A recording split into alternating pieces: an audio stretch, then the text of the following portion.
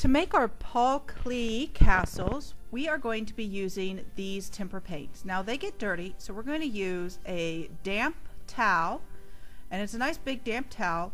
So just wipe off any mess up, any yuck that's on the tempera cake, and you can just clean that up with a damp towel that we'll just keep in this bucket. Now for each one of these castle bricks, you need to fill in a different color. You can start with the colors that are on your palette.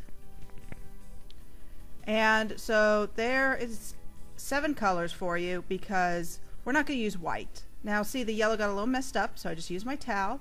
There we go. Now it's a nice white yellow. And I can use brown too. And black. But I'm not going to use white because we're working on a white piece of paper. We'll use white later. Because now, since each color has to be a different color, I have run out of colors. So now it's time to mix. First I'm going to try a little green in the blue. And look at that, I get this beautiful aqua blue green, which is different than my regular green or my regular blue. I wonder what happens if I take this blue green and add some white to it, and I get a, a tint of that aqua. After you've colored in, after you've mixed your colors, be sure you wipe those tempera paints nice and clean. You want to make sure that they're nice and clean. Here's a yellow green. And wipe it clean. Now when you're working with your partner, your partner can be using the same colors that you mix up. You guys can mix together and use the same mixed up colors. Little yellow orange. Sort of a tangerine color. And see how I paint in each square nice and neat. Painting in the sides and then filling it in. Making sure that I leave my palette nice and clean. And I can fold and refold this towel so that there's a new space for it. And I'm just experimenting with mixing with different colors.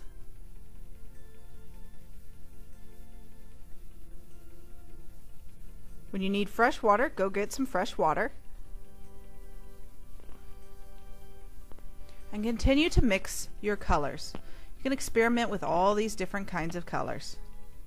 Be sure you color in nice and neat. And be sure that you keep your palette nice and clean.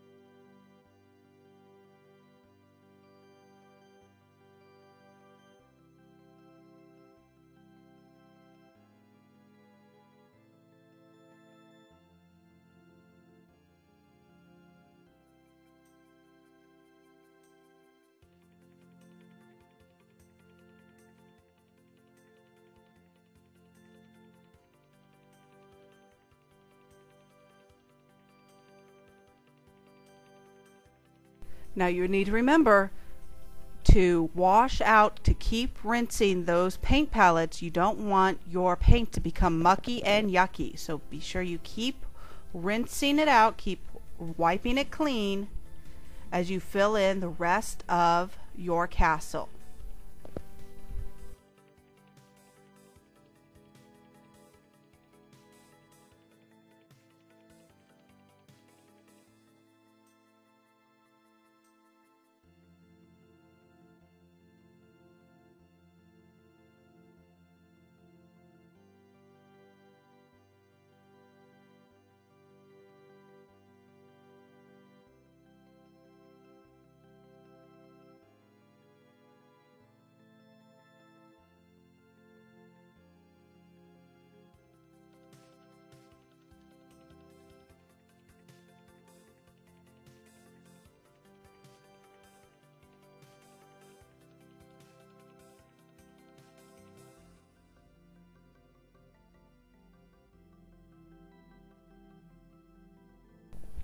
And you can even color in the door. I'm just going to color it in brown. I'm going to add some little uh, door parts. Oh, look, I forgot to fill in just that little tiny bit. Fill that little tiny bit in. And add some black lines and doorknob.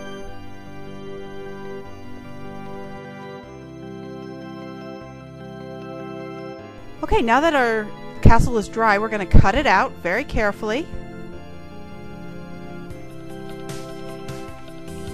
And make sure you cut out these little parts here so it looks like a castle.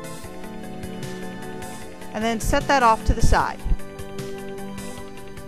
Now we're going to create a background for our castle. Write your name and class code on the back, flip it over, and fold it in half lengthwise like this, horizontally, because we are creating a horizon line where the ground and the sky meet. Now we're going to draw in trees, bushes, lakes like that. Remember, there are no trees that float in the sky, so all of your trees need to start below the horizon line. And then I just like to put a curvy line for the tops of the trees, and a little curvy line for my bush. I'm going to make this a blueberry bush. I'll put some blueberries on there. And then I'm going to color in my bush and the tops of my trees with curly lines.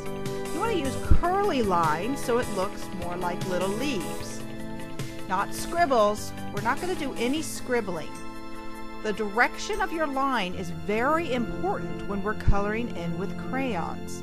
And you can make your artwork look really good by using the right direction for your crayons.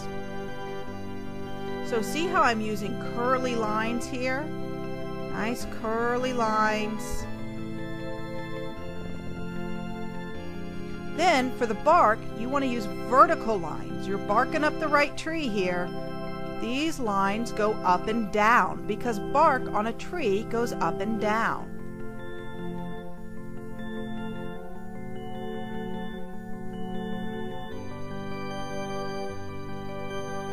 Then it's time for the grass. Use a different color green than you did for your trees or for any bushes.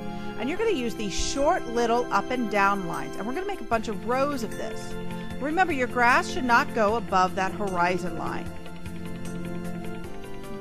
So go all the way across and then start another row of grass. And you can see how this now is looking more like grass and not like a bunch of scribbles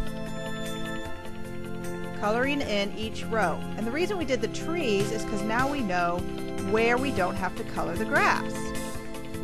As you get further down, you can make your rows of grass look bigger and bigger. Because as we know, things that are far, far away look itty bitty. So grass that's further away is going to look smaller, and grass that is closer to us will look bigger. And you want to be sure you color all the way down. Now my hand's getting a little tired, so I just put my crayon between my two fingers like a peace sign, and then I switched it back to regular. And that's a way that if your hand gets a little tired, you can save your hand.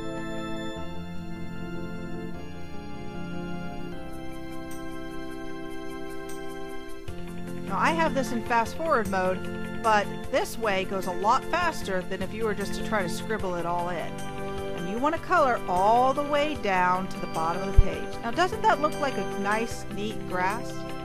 Now it's time for the sky. I'm going to have some clouds, so I color in the clouds first. Now, please remember, clouds are white. Sky is blue. Do not color the clouds in blue. But use the side of the crayon and we're going to make horizontal lines. And that way our sky looks more like a sky. And by using the side of the crayon, it will go a lot faster. And by having some clouds in there, we don't have to color as much sky. Color it all in, all the way down to the grass. Because there is not a giant white void between the top of a sky and the ground. Once you're all done coloring and you cut out your castle, decide where your castle is going to go. Get some glue, some nice liquid glue, and glue it down, and then you're all done with your beautiful color creation.